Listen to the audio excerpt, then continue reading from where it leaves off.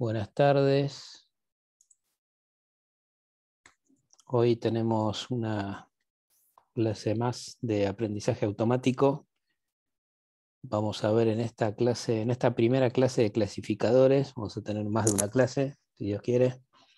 En esta primera clase vamos a ver dos algoritmos de los más utilizados, K-Nearest Neighborhood y Naive Base.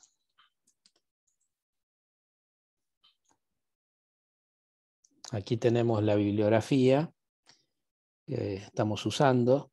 Los dos primeros libros, el de Mitchell y el libro de que tiene varios autores, eh, son libros eh, muy establecidos, especialmente el de Mitchell, que es del año 97. Sin embargo, está vigente porque tiene una muy buena descripción para los que quieran ir más allá de la teoría que vamos a ver, que es muy introductoria al tema la teoría que vamos a ver en clase. Si quieren profundizar en la teoría, eh, este libro es muy bueno, el de Mitchell, Machine Learning, del año 1997. Y algo un poco más moderno y que ya tiene ejemplos, bastante más moderno, del 2017, es el de An Introduction to Statistical Learning with Application in R. Y después tenemos estos tres libros el de Wanganga, el de Riz y el de Leimester y Chinangari. Estos libros son más modernos, son del 2020-2019 y los ejemplos que vamos a ver hoy son del libro de Wanganga y Chaplet, de este libro, que me parece muy, muy buen libro, se lo recomiendo. Y en próximas clases vamos a ir también usando otros, los otros libros de Machine Learning y seguramente más libros, pero por ahora con esto estamos bastante bien. Ya introduciéndonos más en los algoritmos. Bueno, entonces vamos a empezar con el primero, con el algoritmo de K-Nearest Neighbors. Este tipo de algoritmos está basado en el aprendizaje basado en instancias. Y también en la bibliografía se lo, encuentra como métodos eh, lazy. Eh, la traducción no, es muy feliz por ahí, eh, de lazy, en el sentido así como, este, como podríamos decir así, como, como vago, como que, es un poco vago el algoritmo. Pero se refiere más que nada a que son algoritmos realmente simples que calculan distancias, probabilidades y que en realidad no, no son un modelo. No es que estamos entrenando un modelo. En realidad se está entrenando una gran tabla y cuando aparece una nueva instancia que hay que clasificar y bueno, es como que se integra esa tabla y se ve dónde se ubica en esa gran tabla, dónde se ubica y, y en base a eso, bueno, se, le asigna una clasificación. Pero sin embargo, son métodos que se utilizan mucho, son, son bastante eficaces, funcionan en muchas aplicaciones. Por eso que han ganado popularidad y se siguen usando a pesar de que se puede decir que son de los primeros en esta área del Machine Learning. Entonces la idea aquí en, este ejemplo, en un espacio de dos dimensiones, la idea es que cuando aparece una nueva instancia, se calcularían las distancias a todos los, las demás instancias que ya forman parte de este, de este espacio, que a su vez cada una de las instancias que están en ese espacio tienen un, rótulo, o sea, ya, ya fueron clasificadas de alguna forma. Y entonces esta, esta nueva instancia, eh, en base a la distancia que va a tener, eh, se le puede asignar una clasificación.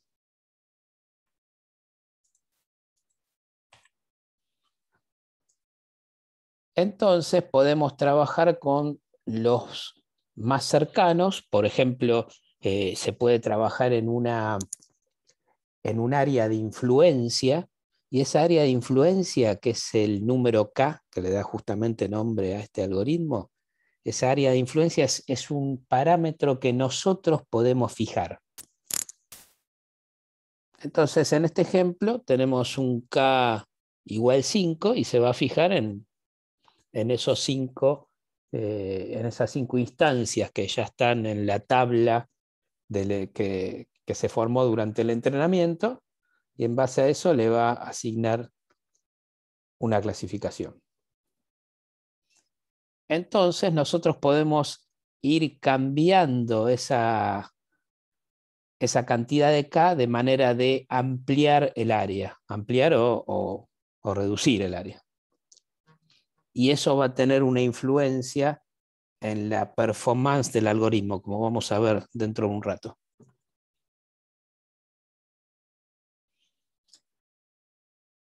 Si bien hay muchas formas de calcular esas distancias. La que más se utiliza es directamente la distancia euclidiana, como, como vemos ahí, que es directamente la raíz cuadrada de, la sumatoria de todas las distancias al cuadrado en, en cada una de las dimensiones.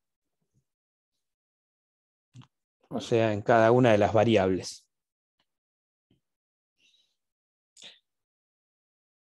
Y a su vez, una forma de pesar esa distancia es a través de los votos, que sería la inversa de, esa distancia, el cuadrado de esa distancia. Como una forma de darle peso y de tomar la decisión. Entonces, este tipo de algoritmos podemos decir que tienen como fortaleza que es simple implementar y es efectivo, simple implementar, porque son cuentas, al fin y al cabo. Es construir una gran tabla en base a un dataset de entrenamiento y después a medida que tenemos un dataset de testing o nuevas instancias que queremos clasificar, bueno, se utilizan todas las instancias anteriores. Otra fortaleza que tiene es que no asume nada acerca de la distribución de los datos. No asume que los datos tienen ninguna distribución, son lo que son. Esto es interesante porque eh, justamente no, le importa cómo están distribuidos, cómo, son esos datos. Entonces se amplía la posibilidad de uso del algoritmo. El proceso de entrenamiento es rápido, porque son cuentas, y en realidad, como dijimos, no hay un modelo aquí. Y después también es interesante ese, flexible porque con nuevos datos de, clasificación se va adaptando, es decir, que los nuevos datos pueden, pueden ir integrándose y, bueno, y se va adaptando y esto permite implementaciones online donde siga aprendiendo eventualmente. Se lo puede hacer así. Pero como todo algoritmo puede tener algunas debilidades y bueno, entre las debilidades una de las más importantes es la definición del K, de ese, de ese vecindario, como dijimos recién. Porque uh, esto tengo algunos errores de ortografía. Lo voy a arreglar y después lo, subo de nuevo, el, PDF, perdón. ¿eh? Entonces tenemos eh, esa definición del K, y la definición del K puede llegar a ser arbitraria, puede, podemos hacerla por algún método, vamos a ver en el ejemplo cómo se ve esto, cómo se puede llegar a una forma, a un método. Y es crítica porque después la performance también vamos a ver que depende de, la definición del K, del, vecindario. Otra debilidad puede ser que el proceso calificación, de clasificación puede ser lento, porque necesita recalcular todas las distancias y si el dataset es grande puede llegar a ser muy lento. Y creo que esta tercera debilidad es muy importante, que necesita de datos completos. Vamos a ver otros algoritmos de Machine Learning donde eh, puede lidiar con missing data, pero en este caso sí o sí necesita lidiar con datos completos eh, y entonces tenemos que trabajar los datos perdidos de alguna forma. O sea que tiene que haber una instancia previa de imputación de datos perdidos. Y eso puede formar parte del preprocesamiento, pero también eh, puede llegar a afectar a los outliers. Pero aún así, eh, es muy bueno este algoritmo. El otro algoritmo es el de naive Bayes. Y este algoritmo está basado en, el teorema de Bayes, en el teorema, si se acuerdan, de estadística, que mm, conceptualmente, ¿qué decía ese teorema? Que podía haber una probabilidad que estaba asociada a otra probabilidad. Entonces, este método se basa en que la probabilidad de, una nueva instancia está asociada a probabilidades anteriores, pero a la más probable. ¿sí? Y la más probable, a posteriori, se puede calcular como el máximo de todas ellas. O sea, la, la nueva probabilidad de la nueva instancia, que sería la más probable a posteriori, se puede calcular como la máxima de todas las probabilidades anteriores. O sea que es parecido a la anterior. La diferencia era que habíamos visto en que el KNN la calcula, eh, la probabilidad la calcula como por el voto. En cambio acá la calcula por el máximo. Y este clasificador de Bayes, cuando se implementa, asume algo que, bueno, no es muy de Bayes, justamente, que es que asume que los atributos, los n atributos o variables, son independientes. Esto puede ser verdad o no. De ahí viene el naive, el ingenuo porque ingenuamente asume que eh, son independientes los atributos entre sí. Esto parece que, está, que no es muy bueno, pero sin embargo hay otros algoritmos que hacen esto. Y, esta, esta, suposición en realidad no, no, es un tema estadístico, ¿no? es un tema de los atributos, del conocimiento de los atributos, que dependan o no. Por ejemplo, en análisis de regresión pasa algo similar. Entonces, la expresión final de cómo calcula esa, eh, la clase tiene que ver con esa probabilidad máxima y con la productoria de, de cada uno, de la probabilidad de cada uno de los atributos. Bien, entonces vamos a pasar algunos ejemplos si les parece bien, si se quieren bajar el, el Notebook que subí al campus, lo puedo pasar por el... Si quieren, lo puedo pasar por aquí, por el Telegram.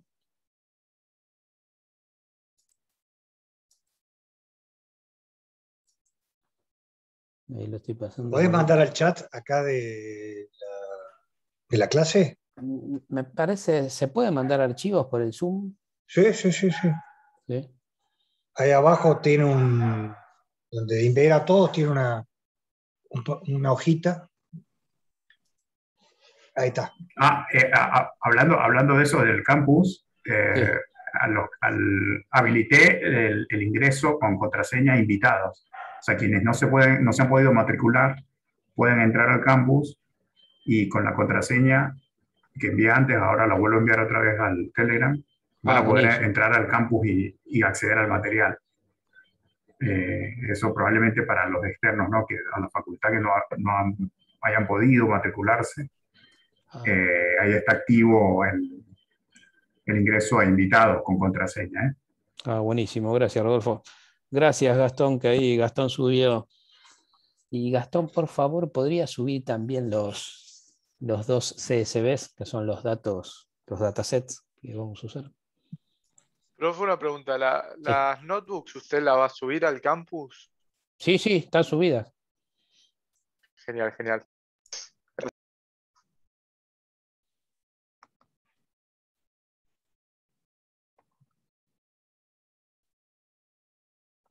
Ahí está la carpeta completa, buenísimo. Gracias, Gastón.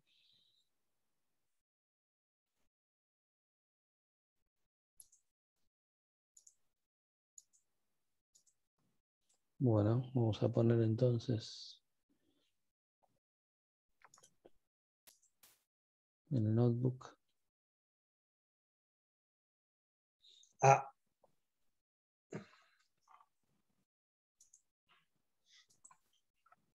Sí, Víctor. No, pero está con R de vuelta, tengo que instalar R, que no lo tengo. Ah, no, no tengas problema, yo me encargo. Tranquilo. Bueno. Olvídate.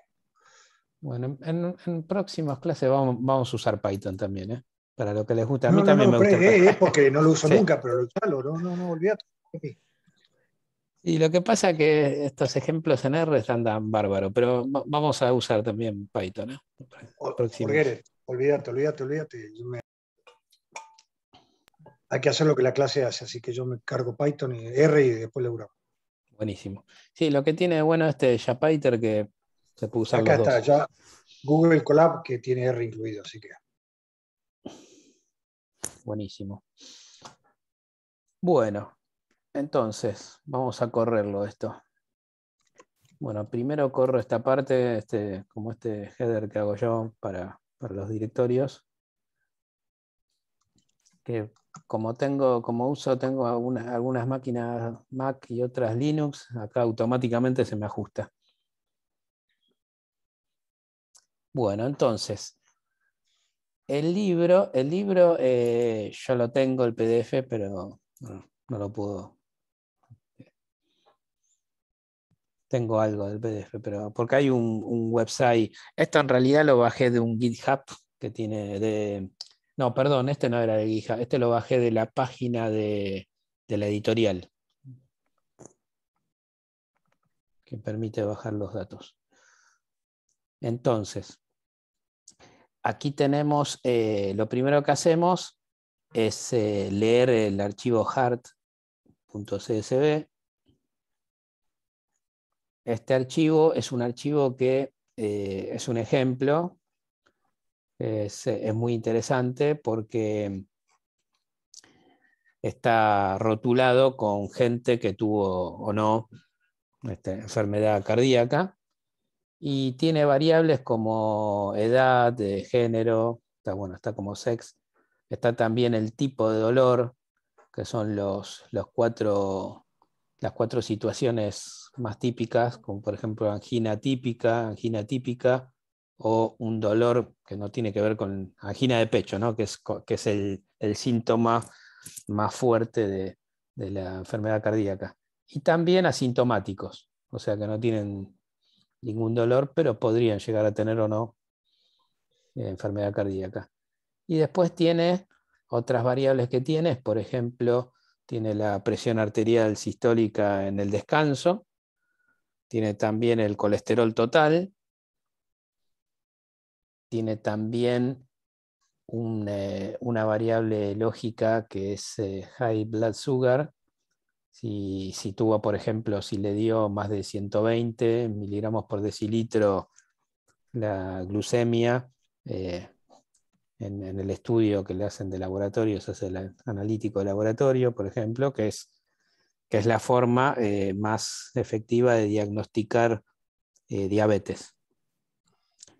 Y también tiene características del electrocardiograma en reposo, si, si se vio la, forma del electrocardiograma normal o hipertrofia o una onda normal. Y otras más que tienen que ver con el electrocardiograma, como la depresión del segmento ST. Hay un, el electrocardiograma tiene, tiene diversas ondas que tienen nombres, P, Q, R, S, T, y esas, esas ondas, entre onda y onda, se habla de un segmento, y hay un segmento en especial que es el segmento ST, donde se fijan los cardiólogos, los médicos, y si hay elevación o disminución de la base del electrocardiograma, lo que se llama la base isoeléctrica, eso es una indicación de que hubo una isquemia, o sea que ya hubo un, evento que pudo haber sido pre-infarto, por ejemplo. Entonces, eh, también tiene esas dos eh, características. Y finalmente, tiene la, variable, el atributo heart disease, que es un valor lógico y, que bueno, que es el, nuestro rótulo.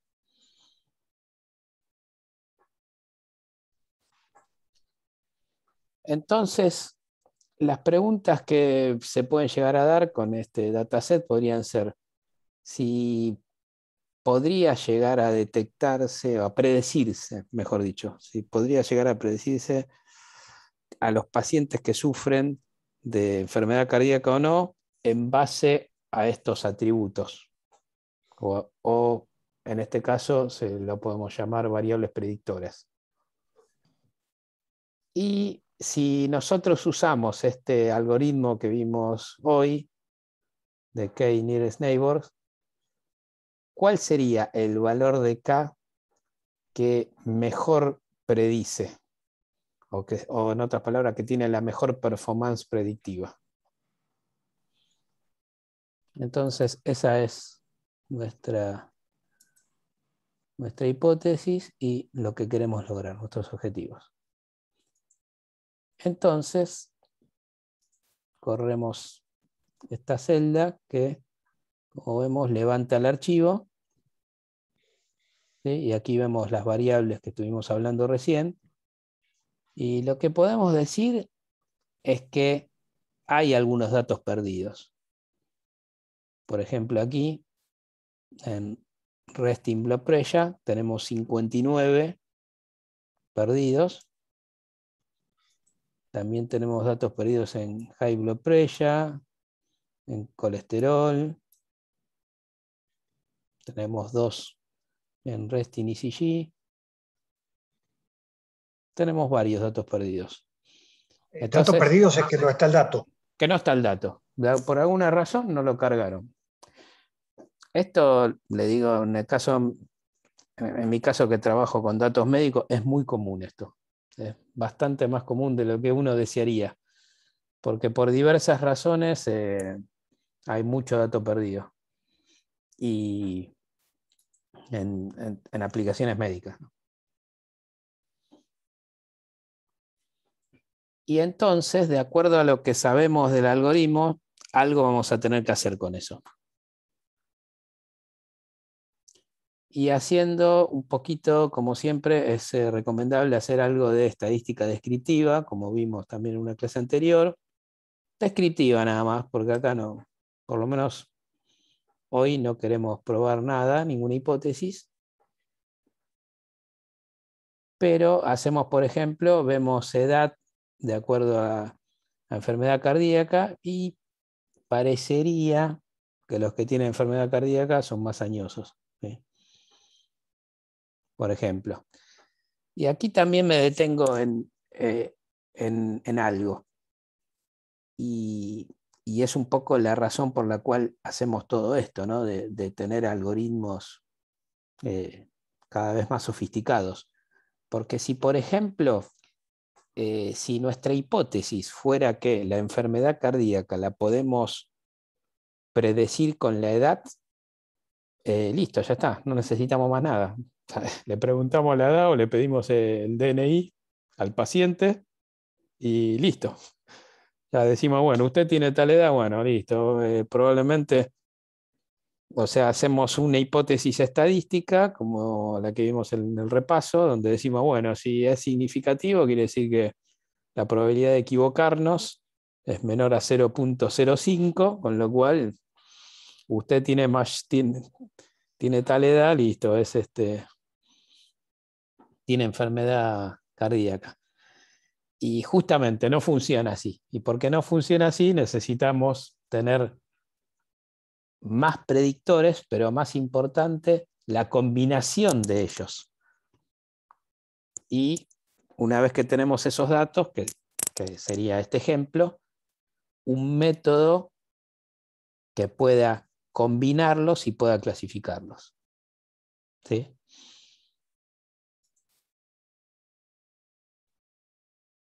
Así sería el razonamiento de por qué estamos haciendo todo esto. Eh, aquí tenemos en este gráfico de edad con respecto al género, eh, esto lo que nos indica que está bien distribuido, que es bastante equivalente, casi idéntico, la distribución de edades por género, eso está muy bien. Y bastante equivalente también este, la edad respecto al tipo de dolor.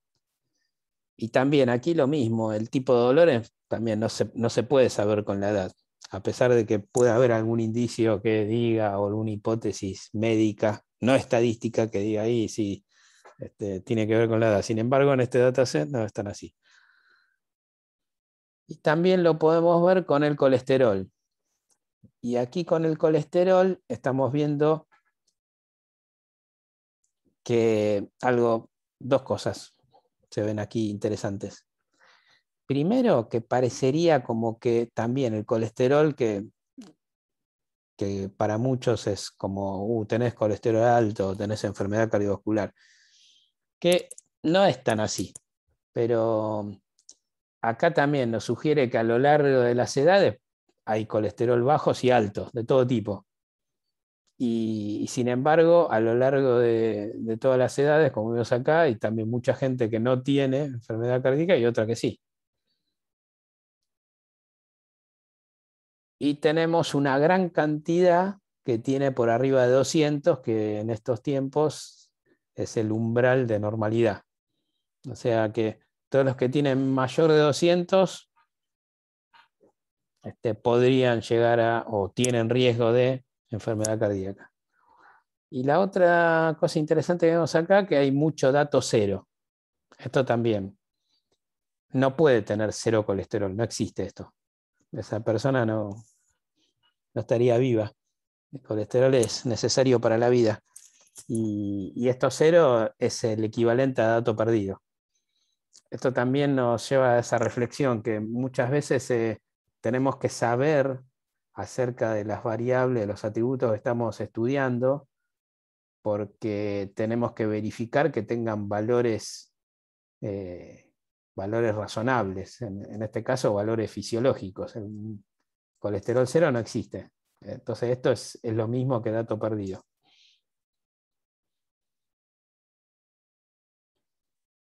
Y acá también, eh, bueno, el cero, miren cómo influye en, justamente eh, en el colesterol agrupado por enfermedad cardíaca.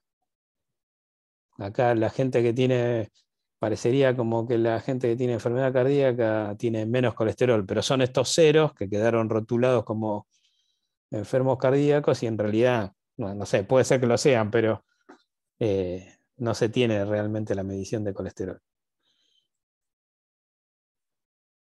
Por eso que siempre decimos que es recomendable hacer un, una, descripción, una estadística descriptiva para ver cómo está el dataset y poder seguir adelante. En R tenemos la función summary para los que se están iniciando en R, que está buenísima, esta función summary, que cuando tenemos un data frame hace un sumario, aquí lo tenemos aquí, que variable por variable se da cuenta de qué tipo es la variable. Si es numérica, nos da la distribución con, con media, mediana y, y, este, y cuartilos. Y si no, si es eh, categórica de factorial, nos da los, las categorías. Y también, muy importante, nos dice la cantidad que son de datos perdidos, de non-available, DNAs. Y con esto ya nos damos bastante idea. Y después está bueno hacer algunos gráficos, especialmente box, boxplot. Bien. Entonces, ahora tenemos que, sabemos que tenemos missing data, tenemos datos ceros. Bueno, y aquí, esto está todo en el libro que les dije de Practical Machine Learning. Este ejemplo lo saqué de ahí, lo toqueteé un poquito, pero hay partes que son idénticas. Está muy bueno. Toqué un poquitito el código, ¿no? Y, bueno, lo que hacemos acá, eh, usando estos pipeline de R, que también son muy útiles, y haciendo un filtrado, nos podemos, podemos eh, trabajar con estos missing data. Y también algo que ayuda a muchos algoritmos de Machine Learning es normalizar los datos. Y normalizar los datos, la normalización de datos, es llevarlos a una escala, es llevarlos de alguna forma a todos los atributos numéricos, llevarlos a una misma escala. Y esa misma escala se da redistribuyendo el valor del dato de acuerdo al mínimo y al máximo de todos los datos de ese mismo atributo. Es, ese proceso se llama normalización. Y aquí tenemos una función que lo hace. Muy simple, que hace la normalización. ¿Sí? Entonces ya podemos ver que la, la variable pierde la unidad, porque lo estamos, eh, la estamos eh, centrando, porque le estamos sacando al mínimo, y a su vez le estamos cambiando la escala, porque la dividimos por el rango, por la diferencia entre el máximo y el mínimo.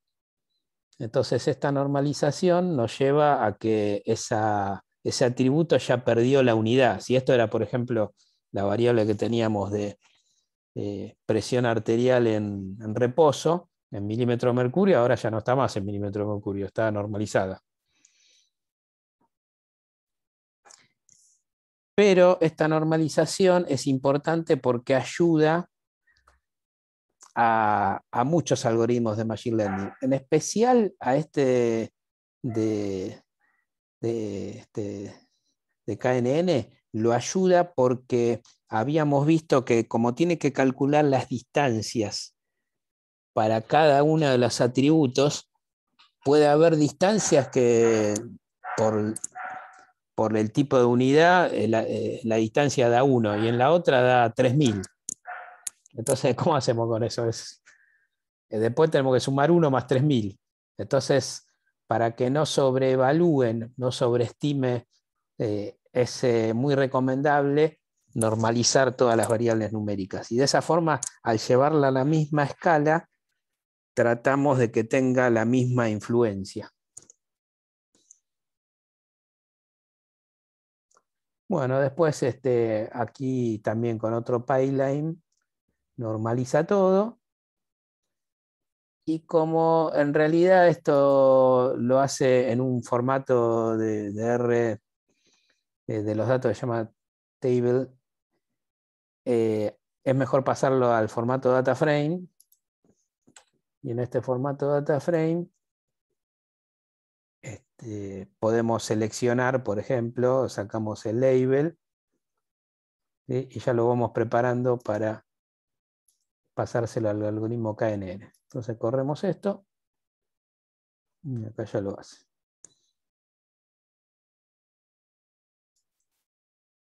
Entonces, también de acuerdo a lo que vimos en una clase anterior, es necesario para poder hacer una una buena evaluación de performance, es necesario dividir el dataset, hacer un split, en una parte que sea de entrenamiento y otra parte de prueba. Train and testing. Training and testing. Entonces, en R lo podemos hacer eso con la función sample. Y acá, como ven, le estamos diciendo que eh, un 75% aproximadamente, porque lo redondea, ¿no? Un 75% iría a training y a train y el otro, lo que queda, un 25% a test.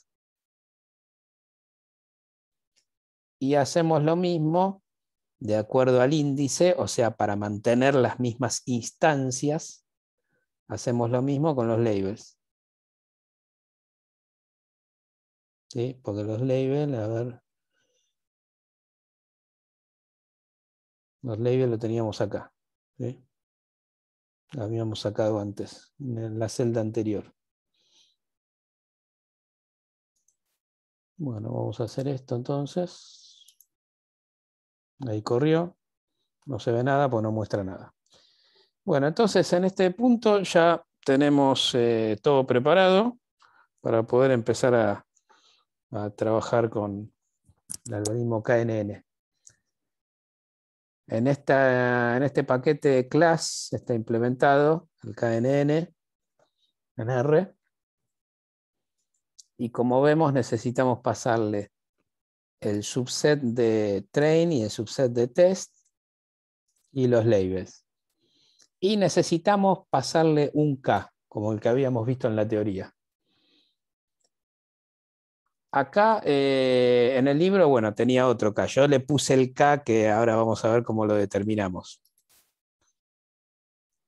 K igual a 6.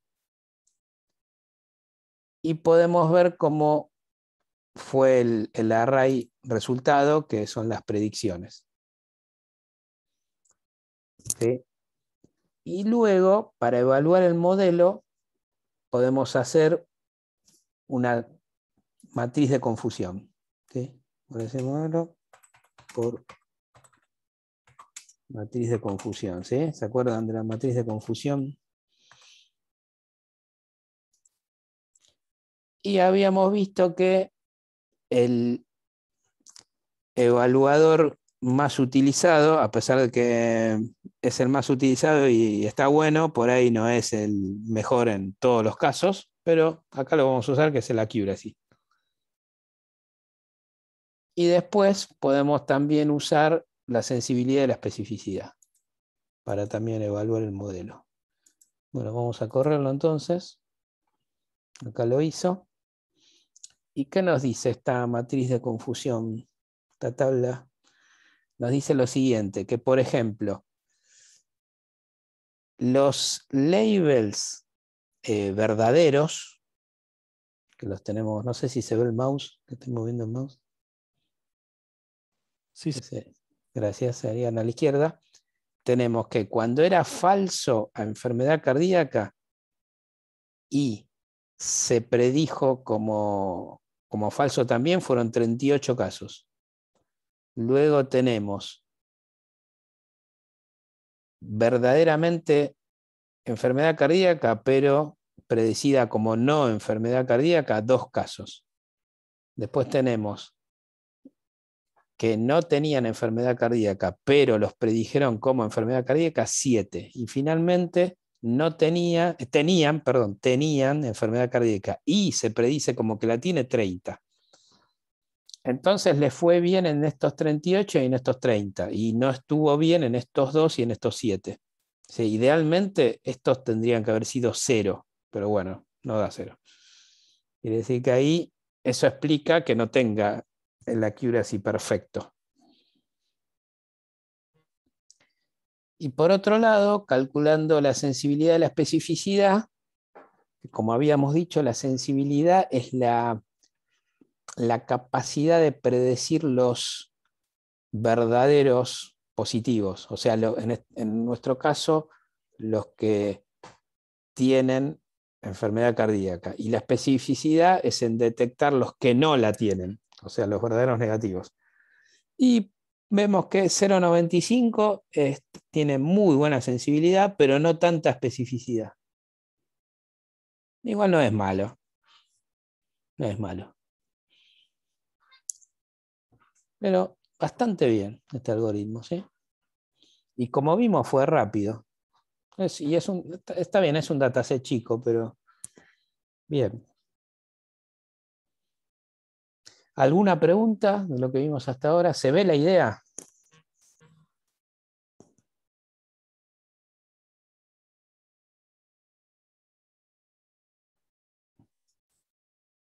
¿Estamos bien?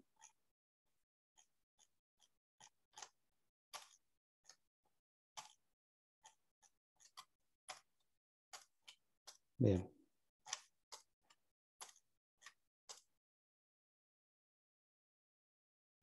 Bueno, entonces, ¿qué nos queda? Muy importante. Nos queda determinar el mejor K. Porque, de acuerdo a lo que vimos en la introducción, el K es importante para la performance. O sea, en otras palabras, si bien lo vamos a, vamos a ver un método que puede llegar a considerarse arbitrario, eh, es el método que más se utiliza. Y es el siguiente. tenemos aquí. Podemos, por ejemplo, entrenar varias veces este algoritmo K haciendo variar, este algoritmo KNN, perdón, haciendo variar el K en un rango, por ejemplo, aquí de 1 a 40. Y vamos guardando el accuracy, la sensibilidad y la especificidad para cada uno de los K. Y después los ploteamos para ver qué da. Esto va a tardar un poquito, pero vale la pena. Ahí está. Entonces, vamos a empezar por el accuracy. Nosotros buscamos el accuracy más grande y aquí lo tenemos. En este caso, podríamos decir para este ejemplo, para este dataset, la verdad que no es muy arbitrario, bastante bien está. Sería arbitrario si nos hubiese dado eh, todo como tenemos en los K mayores, que en los K más grandes. O sea, todo muy cercano, con poca diferencia. Esto sí es, es más arbitrario, si, si, nos hubiese dado todo plano o, bastante plano. Pero acá se ve un pico, un máximo bien definido. Entonces aquí no es tan arbitrario. Podemos decir que el K que corresponde a este máxima accuracy podría ser el, más adecuado. Y si lo vemos en el array, lo vemos en el array, sería aquí, sería este, ¿no? Este. 0.89. ¿Sí? Que sería el 1, 2, 3, 4, 5, el sexto.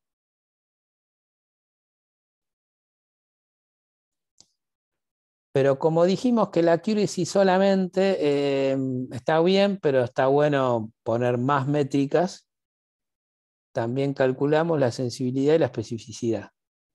Y aquí tenemos la sensibilidad y la especificidad. Y como vemos, la sensibilidad también. Eh, hubo unos K, un rango de K donde fue bastante parecido.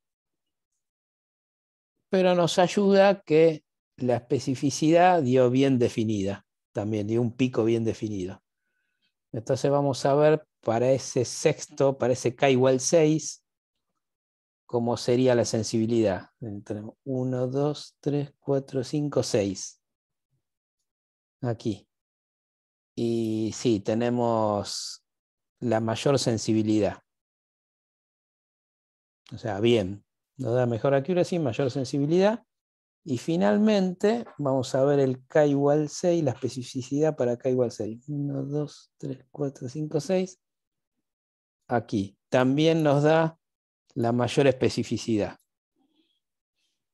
O sea que, eh, muy bien, me parece que en este caso podemos estar bastante tranquilos de que elegimos un K igual 6 y es lo mejor que podemos obtener de este algoritmo con este dataset. ¿Sí? ¿Se ve la idea?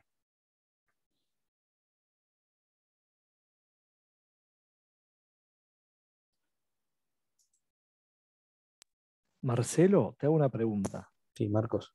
Lo que, en el fondo, lo que estás haciendo acá sería parecido a lo que hablamos la vez pasada de una especie de grid search del hiperparámetro K.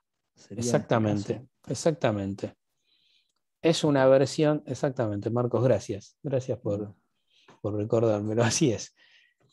Es, es, parecido en el grid, eh, en, en, la clase anterior, lo que vimos como grid search, eh, se forma una grilla porque hay algoritmos, ya vamos a ver en próximas clases, que tienen varios parámetros.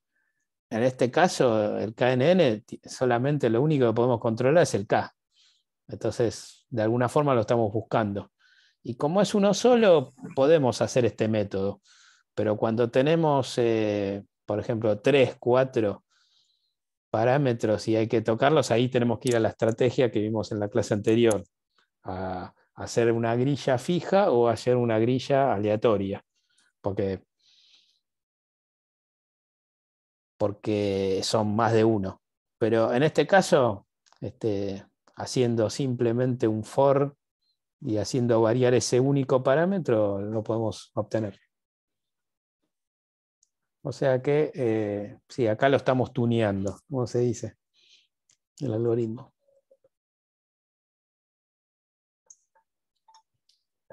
¿Sí? Entonces ya nos podemos imaginar otras aplicaciones. Voy un poco para atrás en el código.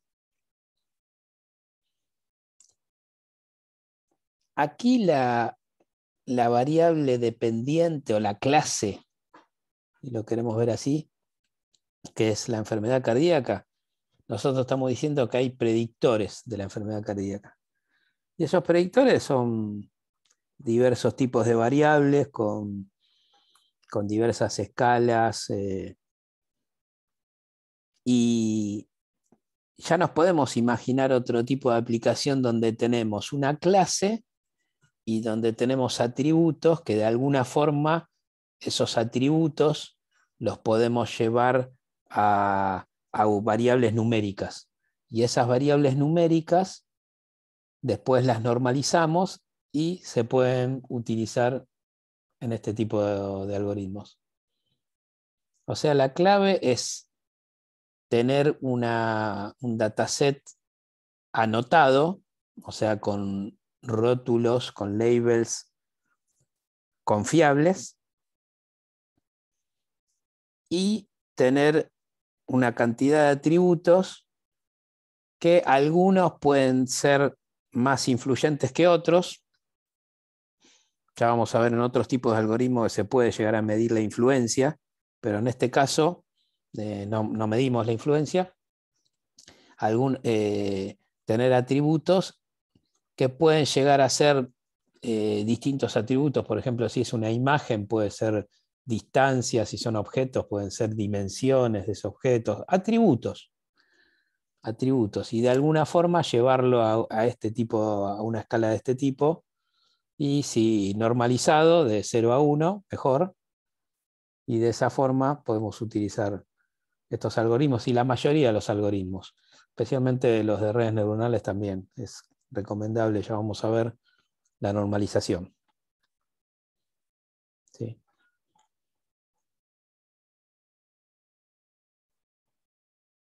Bien. Bueno, vamos a pasar al segundo ejemplo. También del mismo libro.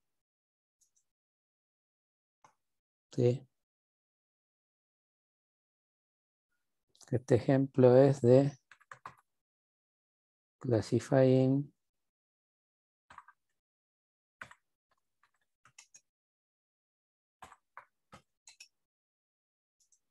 spam email.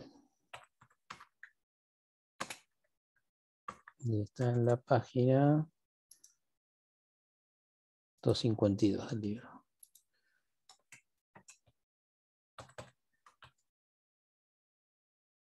Bien. Bueno, entonces, también levantamos este archivo, email.csv, y la idea cuál es de, en este caso. Ese, tenemos un dataset que estoy leyendo acá en, el libro. Tenemos eh, más de 1600 mensajes de email que están clasificados, eh, rotulados, ya sea como ham, que, quiere decir eh, mensaje legítimo, o como spam. Ya sabemos lo que es spam, no solicitado. Y bueno, esta es de una compañía, la compañía Enron Corporation.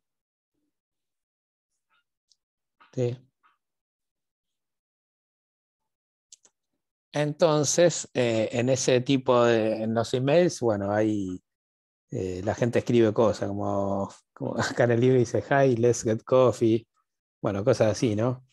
Este, y entonces los mensajes, lo que se, pueden, lo que se puede hacer es, es como una matriz donde podemos poner para cada mensaje eh, que, está, que se lo ve como una instancia donde tiene una ID del mensaje y podemos ver las ocurrencias de cada una de esas palabras. Por ejemplo, coffee, get, great, high, let's, sounds, eh, todo lo que es, uno escribe, palabras que uno escribe, y podemos ver cuándo ocurren o no, poniéndole 1 o 0 para cada instancia, que sería cada mail, eh, ese, todas las palabras más comunes.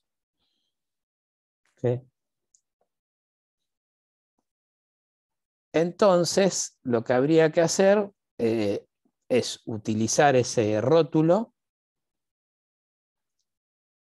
y analizar esos mails de manera de poder detectar esas palabras más comunes y quedarnos con las, de todas las palabras, con esas más comunes. Porque, como sabemos, en los mails puede haber miles de palabras, no sé. Pero tenemos que buscarnos, tenemos que concentrarnos en una cantidad finita, manejable. Entonces, aquí vemos que lo que hace, lo primero que hace es poner el mensaje message label como un factor. ¿sí? Lo pasa a factor. Luego, luego crea una nueva variable para contar cada palabra. Y bueno, aquí con, también con, un, con paylines, que son muy, muy convenientes en R.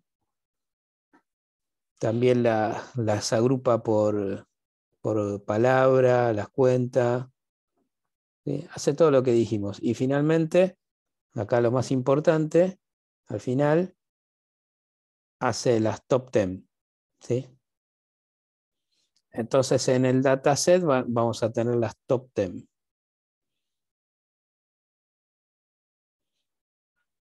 Y luego, como siempre, necesitamos hacer el split de train and test, igual que lo hicimos antes.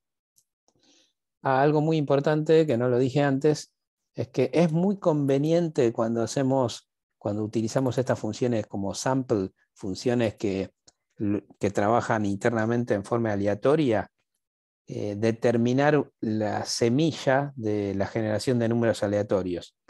Porque en realidad eh, los algoritmos que generan números aleatorios en la mayoría de los lenguajes, eh, en realidad no son aleatorios, es una secuencia. Es como que de una secuencia se empieza en algún lugar. Entonces, nosotros queremos que empiece siempre en el mismo lugar y para que empiece siempre en el mismo lugar tenemos que eh, hacer un set seat y ponemos cualquier número acá, por ejemplo 1, 2, 3, 4.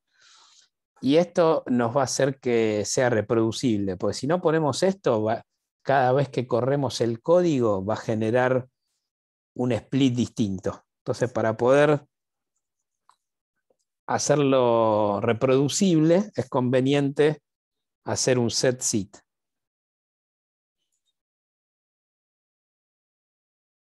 Y luego vemos cómo se distribuyeron, haciendo una tabla de probabilidad, cómo se distribuyeron los labels en, el total y en cada uno de los, de los subsets. Entonces vamos a correr este código. Ahí está.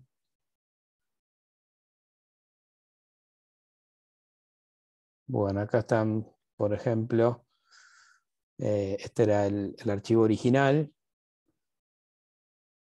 que teníamos. En el archivo original estamos viendo eh, la cabecera, por eso vemos solamente estos primeros seis. Y vemos cómo tenemos el message index, el ID, tenemos el label, y después tenemos, bueno, este, todas las palabras. Si, si estaban presentes o no en cada mensaje. Después empezamos a trabajar y vamos, de alguna forma hacemos como una transposición, ¿no? Y después aquí tenemos las top 10. ¿sí? A la que más nombra es el nombre de la compañía en todos los mails, porque debe estar en, la, firma, ¿no? Entonces aparece siempre. Y otras palabras. Y aquí lo tenemos, perdón, aquí lo tenemos para el, el dataset total y para train and test. Y aquí tenemos cómo se distribuyen. Y bueno, bastante bien, digamos. Le da casi la misma probabilidad para ham que para spam.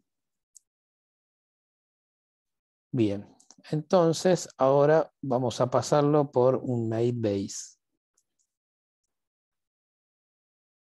En, en R, este algoritmo está implementado en este paquete, en el E1071. No, perdón, hay unos comentarios acá. Pablo, perdón, eh, que lo leo recién ahora, tu comentario, Pablo, que dice que es el símbolo. Ese símbolo eh, en, R, en lenguaje R, se llama Pyline. Que está buenísimo porque mm, es una forma que vos podés concatenar, o sea, hacer un pipeline de, de funciones que de otra forma tenías que ir llamándola de a uno y ir guardando el resultado o llamándola por adentro, todo, ¿viste? Es, un, es algo que está en el paquete de Tidyverse de, DR. O sea, tenés que cargar ese paquete para que te funcione. No, no está en el R base.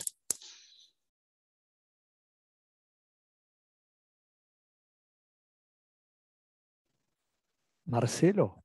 Sí. Te hago una pregunta. donde, en la pantalla donde tenés ahora, viste que, ham y spam te pone 0.49, 0.51. ¿Qué es bien eso? ¿La distribución? ¿Y cómo se distribuyeron eh, en cada uno de, en el, vamos a ver el código.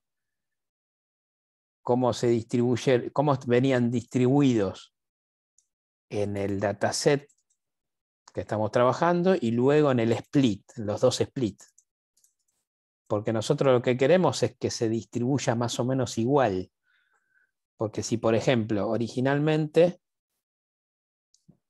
en el, vamos por acá, originalmente sería este, venía 0,49, el 49% eran ham y el 51% eran spam. Entonces, lo que nosotros queremos es que se mantenga lo mayor posible esta misma proporción en el training, que está acá, y en el testing. ¿Sí? Es para verificar eso. O sea, sería para que no haya sesgo en la manera. Claro, porque exactamente, porque si, si en el dataset total tenemos 49% y 51%, y después en el training tenés 80-20, y bueno, sí, le estás, tenés el sesgo, exactamente. Es una verificación. Acá Luciano también eh, dijo en Pandas es Describe. Así es, en, Pandas el summary es Describe. creo que lo mismo, casi lo mismo. Bien, bueno, entonces, ¿qué hacemos aquí? Eh, bueno, cargamos el library, luego llamamos a esta naive base y esta es una, es, aquí tenemos una sintaxis de R que se utiliza mucho para, para, muchas funciones de modelos, por ejemplo, la regresión, ya lo vamos a ver, esta sintaxis. ¿Qué, ¿Qué, quiere decir esta sintaxis? Quiere decir que a la izquierda de este simbolito, que sería como el aproximado, no, no es igual, aproximado, Yo le digo el símbolo de alterna. Bueno, me sale el electrónico de adentro. Entonces, eh, el símbolo de alterna. Entonces, a la izquierda tenemos la variable dependiente o el label o la clase, que es el message label en este caso, ¿no? Y del lado derecho habría, se podría poner todas las predictores. Pero nosotros eh, en esta, aquí tenemos un punto y un menos. Este punto quiere decir todos, menos message index. Así se lee esto. O sea, va a utilizar todas las variables que tiene el data frame y mail train, en este caso, como predictoras menos el message label, obviamente, porque ya le dijimos que era el predictor, digamos, el, eh, perdón, el, eh, la variable dependiente, todas, que quiere decir el punto, pero le sacamos el message index, porque el message index no, no predice per se, es, es un ID. ¿Sí? Bien. Y entonces le pasamos, eh, bueno, le pasamos eh, también el dataset. Lo corremos y luego para evaluarlo se hace en un segundo paso. Vieron que en el, esto es, eh, también en muchas implementaciones en R está separado el entrenamiento de la predicción para evaluar la performance en dos funciones distintas como vimos en el KNN, estaba todo en la misma función. Acá está, está separado. O sea, hay que llamar a predit y pasarle el resultado del modelo. ¿Ven aquí?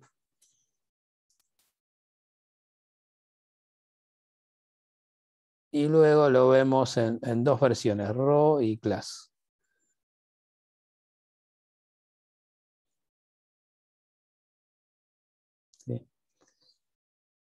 Bien, vamos a correrlo entonces. Ah, y, después calculamos, como siempre, la accuracy y sensibilidad y especificidad.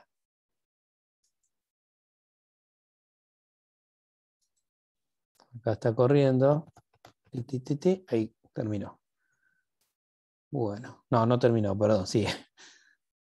Ahora sí, ahora terminó. Bueno, ¿y qué tenemos? Tenemos en este caso la tabla de confusión, la matriz de confusión, muy importante, y vemos que en los spam que eran ham, el Night Base encontró 209 que eran ham, lo predijo como ham. Pero hay 55 que en realidad eran spam y los tomó como ham. Y después tenemos 5 que eran ham y los tomó como spam y 151 que los predijo muy bien porque eran spam y los predijo como spam. ¿Sí? Y eso nos da una accuracy de 0.85 y nos da una sensibilidad de 0.79 y una especificidad de 0.97. Entonces aquí se dio vuelta con respecto al ejemplo anterior, a la, de enfermedad cardíaca, se dio vuelta la sensibilidad y la especificidad. ¿Se acuerdan que en el caso anterior era el método del KNN para ese dataset había dado más sensible que específico? Acá es al revés. Entonces, esta sensibilidad de 0,79 no es mala, es buena, que es la capacidad de predecir los que bien, de clasificar bien los que son este, ham o spam, y la especificidad es de los que son realmente no y la especificidad de los que no, de los que no lo son. O sea, es más específico, es mejor mirando lo que no son que lo que son. Nada, es lo que es.